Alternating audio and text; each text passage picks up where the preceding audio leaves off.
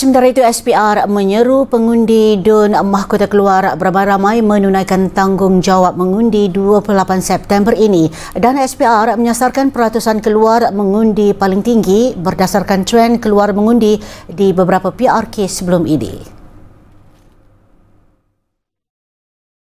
Kita harap sebanyak mungkin pengundi akan keluar lah. Dan kalau kita tengok pada trend di Nenggiri, ya, lebih daripada 70% turun. Dan kita juga menjangkakan lebih daripada 70% akan turun.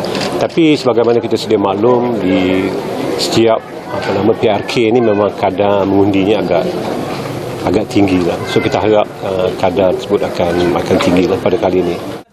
Datuk Sri Ramlan berkata demikian selepas melakukan tinjauan pengundian awal di Dewan Mahkota Kem Mahkota Keluang pada Selasa. Kem Mahkota mempunyai 3,865 pemilih berdaftar yang mengundi di 8 saluran.